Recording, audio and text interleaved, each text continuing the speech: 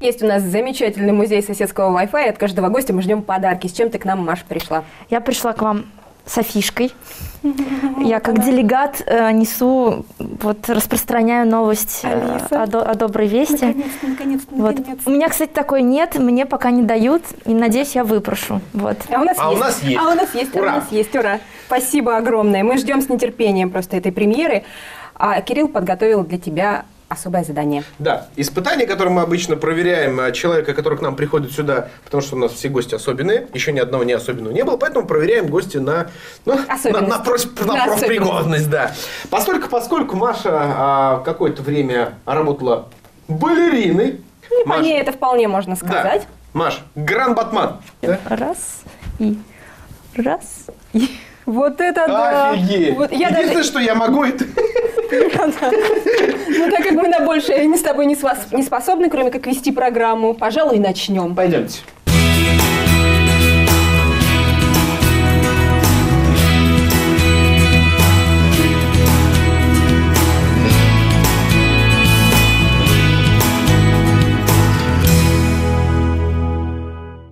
О сносе Пицунды, отмене бесплатных школьных завтраков и продленки и о грандиозной премьере в Саровском драматическом театре. О чем говорит город, говорим и мы. Обсуждаем самые интересные, на наш взгляд, события последних дней. В эфире «Соседский Wi-Fi» в студии Кирилл Васенин. И Лидия Шулаева. Подключаемся. Подключаемся. Ну, расскажи мне, Лида, что тебя потрясло на этой неделе? Кирилл, снос Пицунды э, для меня, даже для человека, который живет в Сарове два с половиной года, для меня это событие такое, ну, историческое, потому что я вообще за то, что а, история должна сохраняться. И история архитектуры, история а, какого-то образа жизни да, в то или иное время. И вот Пицунда, как она называется в народе, это же последнее здание барачного типа, которое оставалось в Сарове. Все, вычистили, нет Ну, больше слушай, с другой, признаков. стороны, ну, с другой стороны, все те, кто там, когда хоть раз бывали, хоть разочек бывали, говорили, что там не очень хорошо внутри. Как бы не потому, что там все такие же одинаковые, а потому что само по себе здание уже устало. И, наверное, имело бы смысл от него избавиться Ну, Ты вообще. знаешь, Кирюш, ведь как относиться к этим зданиям? Сейчас, к сожалению, это тенденция, которая характерна для всей нашей страны. А Саров застраивался не так давно, да, Ну да, а, всего-то как, там. как город, у него не такая уж большая история. Если мы возьмем а, более взрослые города, то мы увидим, что там вытираются, вытирается история архитектуры 18-19 веков. Дома, они считаются даже порой памятником истории, а их сносят. Ну, а что с ними делать? Ну, вот, ну что с реставрировать, следить. Ведь дерево сильно корнями. Если мы не будем знать наши истории, если мы не будем помнить, что же мы такое, Иваны, родства не помнящие. У города должно быть свое лицо, а их застраивают просто безликими какими-то домами, коробочками. Особенно самое неприятное. Сносят один дом, и на его месте строят что-то непонятное. Ну, вот эта хорошо. точечная застройка, это, мне кажется, бич современного времени. Ну, вот ты представь, что сейчас на этом месте, вот в тот архитектурный ансамбль, который есть на этом месте, э, в, в- районе Пицунды, встанет красивое, органичное здание, в котором будут квартиры, в, которые, в которых, насколько я помню, будут места для тех, кто стоит в очереди на эти квартиры. Будет бесплатное Ну жилье. да, да, при- предусмотрено, что застройщик должен Это же плюс. продать да, 30% квартир городу по цене 34 тысячи рублей за квадратный метр. Это, конечно, плюс. Но мы не знаем, каким будет этот дом, потому что проект, он в разработке, его еще никто не видел. А Пицунду его- уже снесли. А Пицунду уже снесли. И вот этот дом каким построят, таким построят. Причем я хочу заметить, что было очень много общественных обсуждений, и жители-то города были против э, строительства там жилого дома. Может быть, и не за сохранение а, Пицунды. Пицунды, да, вот этого барака и вот таких вот замороченных на истории архитектуры а, не так уж и много в городе. Допустим, соглашусь, Саров ограничен в плане земель, где-то надо строить, но Жители-то хотели там видеть какой-нибудь детский центр, что-нибудь малоэтажненькое, чтобы не портило э, архитектурного Сквер. ансамбля. Возможно, сквер, да, а построить все равно же э, сколько-то этажное здание. Я полагаю, Ну что да. этажей будет, ну, порядка Ну, во, пяти, во да, всяком случае, говорят. наверное, вро- вровень с тем, что стоит рядом. А да, там 5-6 ну, э, посмотрим, посмотрим, как это впишется. На самом деле, может быть, это будет гармонично, но, к сожалению, как показывает, опять-таки, опыт других городов, вот эти вот точечные застройки, они выглядят как прыщи на гладком лице города. Давай, хорошо, твое, твое решение этой проблемы. Комплексная застройка. Должна быть единая картина. Я за это. Я за то, чтобы города были красивыми. Ну, вот как, например, Саровская ривьера. Красиво, в едином стиле. И я считаю, что это тот уровень, которого нужно придерживаться. Полным ходом Сарове идет бюджетный процесс. А самое интересное и самое обсуждаемое в проект бюджета не включены финансы на а, бесплатные школьные завтраки и на бесплатную продленку. А, те, кто нуждаются в этих завтраках, так и останутся при этих завтраках, то есть с ними ничего не произойдет. Ну, а, собственно, при католическом строе, те, кто могут за него заплатить, пускай платят. Ну, я в какой-то степени с тобой, конечно, согласна, и, в общем-то, хочу тебе сказать, что вся остальная страна так и живет. Нет бесплатных завтраков уже давно ни в одном э, городе практически Мгм. России, все за них платят, за исключением социально незащищенных слоев населения. И да, в нашем бюджете предусмотрено 3 э, миллиона для малообеспеченных и 9 миллионов для многодетных семей на финансирование вот этих вот бесплатных завтраков. Но я не знаю, э, это вы- вызвало такой огромный резонанс, и, насколько я знаю, депутаты планируют дальше на комитетах обсуждать возможность сохранения этих завтраков. Хотя, я тебе скажу, знаешь, как эти завтраки обходятся в нашей казне? Сколько? 90 миллионов рублей А, в год. казне города ты имеешь? Казне города, да, 90 миллионов рублей в год. При этом э, капитальный ремонт этой же 10 школы, как ты знаешь, Ну там э, 100, 113, по-моему, Ну, почти, миллионов. почти. Да, со- соизмеримые, можно сказать, Ну, цифры. да. И э, если провести мониторинг, а я общалась со школьниками и с какими-то родителями, не едят дети. И получается, что из этих 90 миллионов, миллионов 60, они в трубу. Трубу. Ну, нет, я вообще я согласен с теми, кто говорит, что не стоит тратить на это деньги, хотя сам являюсь родителем, и я понимаю, что сейчас я плачу за то, что мой ребенок кушает в яслях, то есть это не бесплатно. Почему я должен платить за то, что он будет бесплатно кушать в школе? Он уже стал старше. Это моя забота. Я должен позаботиться о том, чтобы мой ребенок, чем он питается. Потому Но- что государство нам ничего не должно. да, ну это как бы мы помним. Но при этом я считаю, что если я заплатил деньги свои, из своего кармана, которые я честно заработал, я вправе спросить с тех, кто готовит. Это да, это я с тобой согласна. И если я говорю о том, что мне что-то не нравится, мои замечания должны быть учтены. Вот, вот в этом я считаю, что есть несомненный плюс. В том, что завтраки переводятся на платную основу. Да и обеды, собственно. С продленкой э, такая же история, Кирилл, что э, групп, э, бесплатных групп продленного дня в Нижегородской области практически не осталось. Саров опять остался единственным городом, который пока еще до конца этого года эту услугу предоставляет. Есть законы, есть бюджеты вышестоящего уровня. Региональный бюджет, федеральный бюджет, и мы регулярно получаем оттуда суб- субсидии. То есть мы на одном своем бюджете далеко бы не Ну, уехали. это само собой. Да, про эти все субсидии, субвенции все знают. И э, есть определенные соглашения подписанные, есть определенные законы, по которым э, из местного бюджета могут э, финансироваться строго определенные статьи. Ну да. Если мы выходим за рамки вот этого определенного законами списка, то вышестоящие бюджеты нам говорят, ну, друзья, вы тратите деньги на свое усмотрение, тогда вы и не получаете субсидий. То есть если мы продолжаем финансировать продленку и опять-таки завтраки, мы не получаем деньги из а, регионального федерального бюджетов. То есть получается, что мы платим дважды. Поэтому, и а, ах, дело в том, увы. что городской бюджет, бюджет теперь не может финансировать ставки а, воспитателей продленного дня. Вот и все. Продленка, конечно, это на самом деле было очень неплохо. Даже я помню, был маленьким, и то я в продленку ходил. Это было вполне, как бы, да, почему нет? Да. Но мы Вроде с тобой бы- такие, Кирилл, антинародные, если честно, сегодня. Ну, нет. Что значит антинародный? Мы тоже же попадем под эти же проблемы. То есть, ну, во всяком случае, вот я со своим, со своим ребенком попаду в эту же самую ситуацию, в которой мне придется платить. Но я настолько привык платить уже за все в государстве, что ну и чё. Я уже не верю ни во что бесплатное. Да, бесплатного ничего не бывает, кроме службы в армии, кстати говоря. Одна бабушка решила под конец э, своих светлых лет Пофестивалить! пофестивалить до такой степени, что э, к ней пришел почтальон, который принес ее пенсию. Бабушка ударила его электрошокером. Бабушка ударила электрошокером почтальона забрала пенсию, деньги. всю пенсию для А, 43, что ли. 40, для 41 пенсионера там было 3,5 миллиона рублей. 3,5 миллиона рублей бабушка взяла потом себе. 3,5, запомнили сумму. Заложила свою квартиру еще за 4 миллиона и на все эти деньги уехал в Таиланд.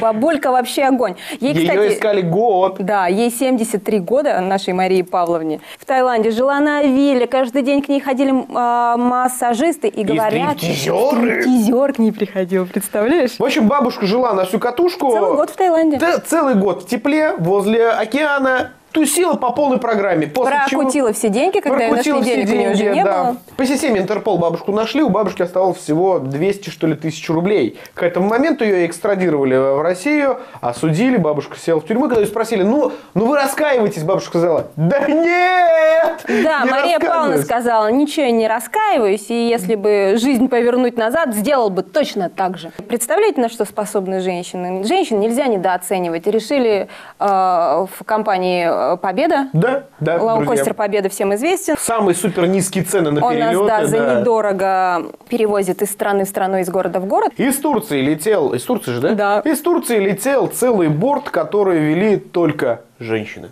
Как раз из Стамбула. Я, Из вот, между Стамбула, прочим, да. в Стамбул лечу на Новый год. Может, мне повезет, и моим самолетом будут Ну, управлять сказать, да. пилотесы. Но я тебе хочу сказать, что традиционно все туристы резко разделились на две части. Одна топит за то, что женщинам нельзя доверять ничего а, сложнее, чем половник и плита домашняя. Вторые топят за равноправие. Ну, вот как-то так, если всех Кстати, вот разделить. эти вот пилотессы, Да. они еще и симпатичные, ничего такие. Ну, Кирилл, давайте смотреть правде в глаза. Самолет взлетел? Взлетел. Сел! Сел? Сел. Все целы, все здоровы, багаж на месте, все нормально. Если бы пассажирам не объявили, что самолетом управляют женщины, они бы об этом никогда и не узнали, потому что самолетом сегодня управляет техника.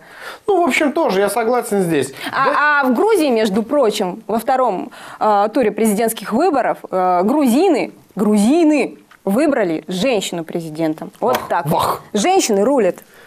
Ну и ну, вот я лично свое мнение. Мне на самом деле все равно, кто, кто ведет самолет, кто управляет этой машиной. Главное, что довезли. Да. То есть я в этом смысле крайне толерантный человек, мне без разницы. И я, и я в принципе, наверное, за равноправие все-таки полов. Ну, с некоторыми ограничениями. Да, я за то, чтобы не открывали двери, так как я девочка. И Ну, ты носили же- за мной тяжелые сумки. Ну, вот ты же А понимаешь... я готова варить суп. Вот. Ты Но же если понимаешь, я что хочу вместе вести самолет, Да. я хочу вести самолет. Но не давайте ей самолета. Ты же понимаешь, что вместе с правами добавляются как бы ограничения. Но это всегда так бывает. Не бывает абсолютно, абсолютных прав. Ладно, мы с тобой тут можем спорить до бесконечности. Давай спросим у горожан вообще за неравноправие, против, и какие вообще женщины Есть ли имеют границы право у этого равноправия да, вообще? занимать должности. Лена, прошу. Равны ли у мужчин и женщин права в 21 веке? Здравствуйте. А что такое? Почему? Я на работу. У вас в семье обязанности равны, да, и права Да. Нет, ну мама, конечно, главное. А ты-то как считаешь? В 21 веке мужчин и женщин права равны, нет? Нет? Точно, я тоже так считаю. Женщина всегда умнее, главнее, красивее, важнее. Равны ли права у мужчин и женщин? Конечно, равны. Не совсем. При приеме на работу вот, это очень проявляется. А как это проявляется? Кому предпочтение Ну, пред- отдают? Предпочтение отдается мужчинам, естественно. Я знаю мужчин, которые делают отличный маникюр. Уравнялись давно и равны практически во всем. все равно остался. Например? Чисто женское и чисто мужское. То есть равноправия все-таки нет, да? И не должно быть. Женщина всегда должна оставаться женщиной, а мужчина мужчиной. Реально она всегда будет. Ее нельзя стереть мужчиной и женщиной. А нужно ли ее стирать? Я думаю, что нет. Ну, помогать жене, а жена, соответственно, мужу. Ну, или там мужчина, женщина, неважно. Раз сделаешь полочку, два сделаешь полочку, сядь на шею и скажешь, все, умеешь, делай сама. Так. А, например, посуду помыть, да? Раз помыл, два помыл, да? Вот в этом и надо уравнивать, чтобы не одни мы мыли. В целом, я за равенство. А мы продолжаем, и к нашему соседскому Wi-Fi подключилась хореограф Мария Лутошкина. Маш, привет. Привет, Маша. Привет. Подключаемся к Wi-Fi. Ну, да, по традиции. Пароль. Сегодня у нас пароль, а, такой, знаешь, типа в профессию тебе. Фуэте. Фуете. Ага. Главное не перепутать буквы, когда набираешь пароль. Звучит как-то не очень прилично. Фу, это... Маш, ввожу, фу- да? Фуэте, да, вводи пароль, фуэте, что это такое? Фуэте – это вращательные движения вокруг своей оси. Балерина на кончике пальцев должна провернуться 32 раза. А еще это пароль от нашего сегодняшнего Wi-Fi. 32 раза, Кирилл. 32 раза. Ты смогла бы, Лид? Я даже раза, наверное, Я-то просто толстый, я бы не смог. а Ты вот- бы это уронил и катался. Сколько хочешь раз. Как бочку. Ой, ладно. Не случайно мы пригласили в гости Марию. Э, В конце этой недели нас ждет потрясающее событие, которое лично я э, ждала очень долго, начиная с лета, когда у нас в гостях была Марина Першина, директор нашей Саровской Да, драмы. И она открыла нам большой секрет, который уже ни для кого не секрет, что в конце года на сцене нашей драмы мы увидим Алису в «Стране чудес». А, Премьера 8-9, и Маша стала хореографом этого спектакля. Маш, расскажи вообще, насколько уместны танцы в спектакле? Ну, так как это сказка, так как э, там есть дворец королевы, так как там много забавных сказочных персонажей, м, так как это театр абсурда, персонажи то и дело принимаются, пускаются в пляс, начинают двигаться. Самый крутой танец какой? Самый сложный, самый масштабный это танец игра в крокет. А, Там огромные фламинго, а, мечи-головы с ушами. На самом деле книжка про Алису, она такая не совсем чтобы детская. Ну, в общем, да, очень... Такая сказка для взрослых.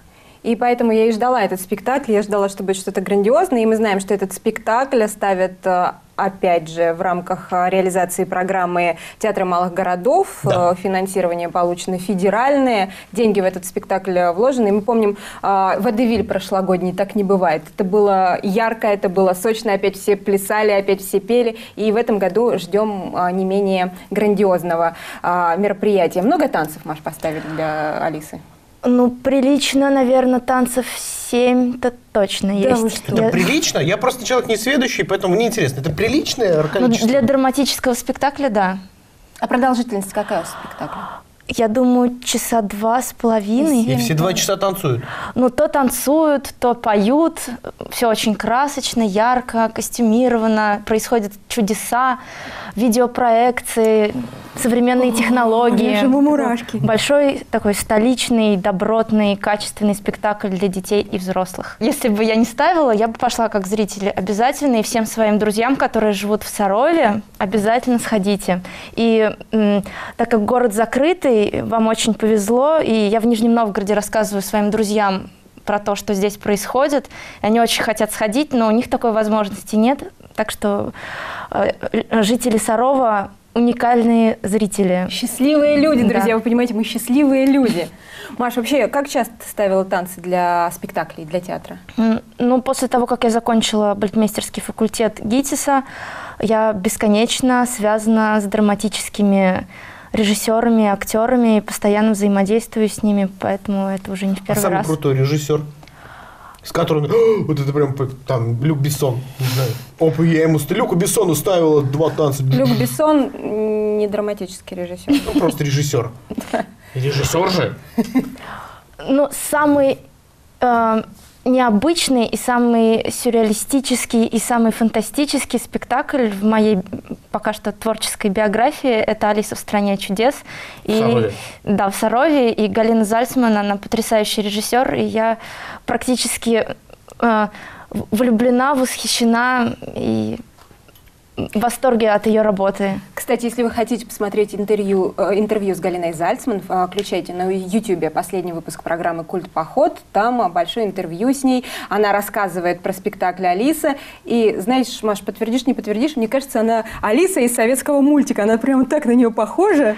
Ну да, а- актер часто к ней подходит и Вот мы здесь выведем режиссера. Правда ведь похожа на Алису? Ну да, она очень похожа. А как вообще люди выбирают себе в профессию балетмейстер для театра? Ну вот, вот, вот помнишь этот момент? Так, не пойду на инженера, не пойду, э, значит, в олигархию, я буду балетмейстером. Ну, я с детства любила сочинять танцы, и Сочинять. Ну, э, изначально я танцевала, но чтобы танцевать, нужно до этого сочинить. И сначала в детстве это было на себя. Я помню, что папа включал мне Битлз или Квин, и я кружилась по комнате, сочиняла как- какую-то себе хореографию. Но потом я решила, что я хочу стать балериной. Я стала балериной. Как Волочкова? А, Ну, мои кумиры немного другие.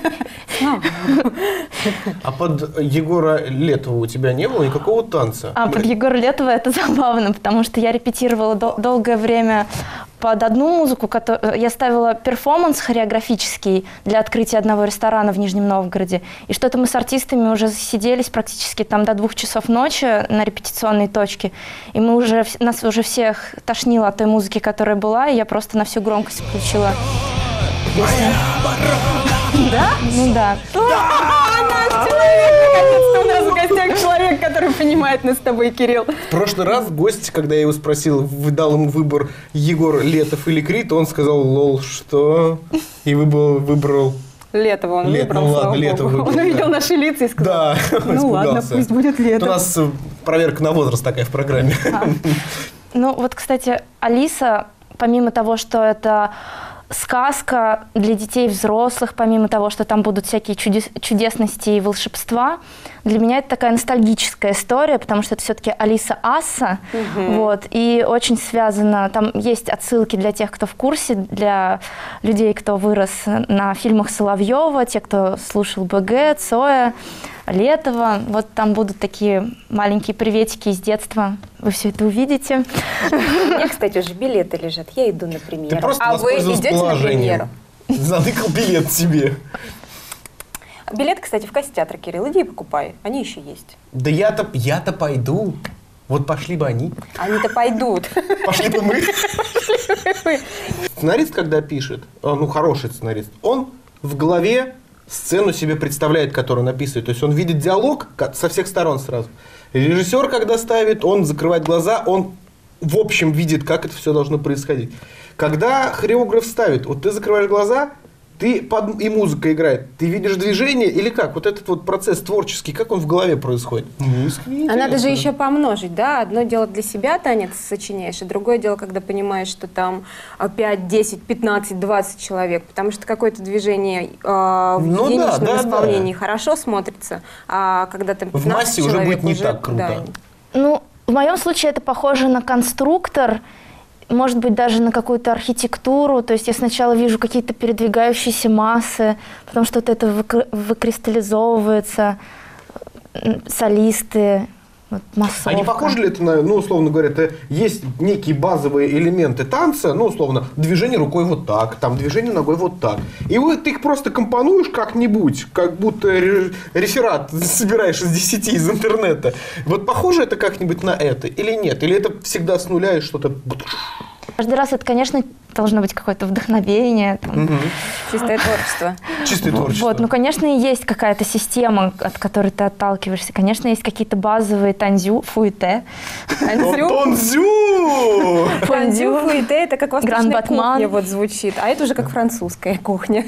Отличается как-то современный танец, современная хореография от театральной хореографии? Ну, это, естественно, зависит от задумки режиссера и конкретного спектакля. То есть, если мы ставим классический вариант «Войны и мир», конечно, там должны быть мазурки и классические вальсы. Вот. А в нашем случае, когда это такой не побоюсь этого слова, сочетание постмодерн, вот, тогда хочется, конечно, и контемпа добавить, и... Контемпорари. Тверка немного в Алисе в стране чудес добавить. И тут чеширский кот начал делать тверк. Продемонстрируй, Кирилл, у тебя. Ты- Из тебя бы получился отличный чеширский кот, который.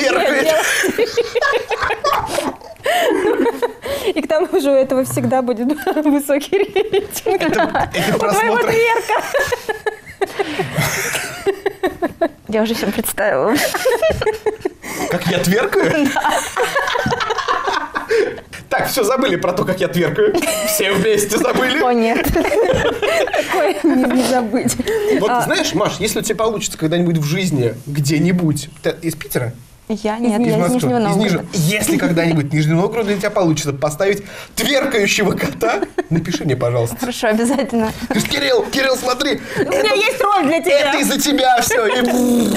Тверкающий, тверкающий телеведущий. да. Вообще можно э, научить танцевать человека, человека полена, например? Всех ли можно научить танцевать? Человек полена? Лично мое мнение, что всегда можно найти какой-то подходящий стиль. Чуткий хореограф должен отталкиваться все-таки от э, материала, который от самого конкретно человека, от его возможностей. Если он, например, не может поднять ногу на 180 градусов, ну, например, он может... э, Что ты на меня смотришь, как будто ты можешь. ну, например, у него потрясающая музыкальность, координация и чувство юмора. Тогда, тогда, можно, тогда можно оттолкнуться от этого и вот Пусть смешно, пусть смешно танцует нормально. Фу, и ты, Лёша. У нас в спектакле, например, есть та- такой персонаж, два персонажа, которые слились воедино, труляля и траляля. Вот такие крепкие пареньки, э, дал- далеки от танца, от классического, но вот я старалась оттолкнуться от их индивидуальности, и, на мой взгляд, пока что это мой любимый номер в э, спектакле. Как здорово, я уже жду с нетерпением. Я бы танец Хочется. гусеницы мне неплохо получился бы. Слушай, ты, ты все роли На гри- собираешь. на гребе. Тверкающий кот, гусеница на гребе. На, гри- на грибу. На грибу. Мне так хочется все рассказать, все выдать, но нельзя, мне запретили, сказали только не выдавай секреты. Держись, Мария, держись, Ну, вы держись. представляете, э, что, что нас ждет в театре 8-9 декабря? Если вы еще не купили билеты, то я вообще не понимаю, что вы делаете. Бегите, бегите, бегите. Пока на лайфхакере публикуют статьи о том, что нужно купить на случай войны, в Санкт-Петербурге школьникам на уроке русского языка дали задание написать письмо отцу на фронт, используя при этом выражение «как там на фронте» и «возвращайся с победой». Как уточняет «Говорит Москва», речь идет об учебнике «Литературное чтение» для четвертых классов, авторами которого выступают Климанова, Виноградская и Бойкина. На 82-ю страницу учебника школьникам предлагается прочитать стихотворение советской поэтессы Елены Благининой «Папе на фронт», а потом написать письмо уже своему отцу. Шокированные родители потребовали разобраться в ситуации, на что в Минпросвещении им ответили «Вопросы заданий во многом вопросы конкретной образовательной программы, вопросы педагога, его умения и таланта сделать программу доступной и интересной для учащихся. Учебник здесь один из инструментов». Период Великой Отечественной войны – это история нашей страны и неизменная составляющая образовательной программы. В истории есть места героических и действительно грустных событий, но школьники должны изучать и знать историю. Настоящий животный беспредел случился на днях в Новокузнецке. Суд признал виновным в затоплении магазина игрушек котика Яшу, проживающего вместе с хозяевами этажом выше. По сообщению канала 360 ТВ, пока никого не было дома, хвостатый захотел пить и открыл кран на кухне. Этому, кстати, и его научил хозяин. А вот закрывать не научил. В итоге штраф 200 тысяч рублей. После случившегося хозяева, у которых таких денег нет, хотели даже выкинуть пушистого хулигана на улицу. Но рука не поднялась. Потому что котиков любят все, несмотря ни на что. Немного, да что уж там, много пугающая новость пришла к нам с просторов телеграм-канала Мэш.